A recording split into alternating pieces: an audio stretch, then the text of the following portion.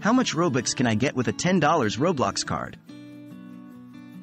Hello, and welcome to our quick guide. Today we'll be exploring how much Robux you can get from a $10 Roblox gift card. Roblox is an engaging platform that allows users to play games and also create their own unique experiences. But to do that, you'll need Robux, the virtual currency of Roblox. Robux allows you to purchase in-game items, accessories, avatars, and much more. What is a Roblox card? A Roblox card, also known as a Roblox gift card, is a purchasable card that you can buy from various retail stores, both online and physical. These cards contain a certain amount of real-world money value that you can convert into Robux once you redeem it on the Roblox platform. How much Robux is in a $10 card? When you purchase a $10 Roblox card, you usually receive 800 Robux.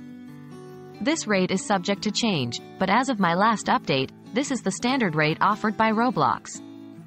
It's always a good idea to check the current rates on the Roblox website or retail location where you are purchasing the card to make sure you are getting the most updated rate. How to redeem your card? After you purchase a Roblox card, you can redeem it to add Robux to your account. To do this, you need to 1. Log into your Roblox account. 2. Go to the gift card redemption page. 3. Enter the PIN from the gift card. 4.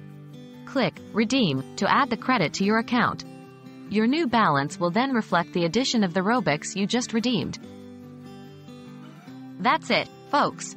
If you've got a $10 Roblox card, you're looking at 800 Robux for your in-game purchases.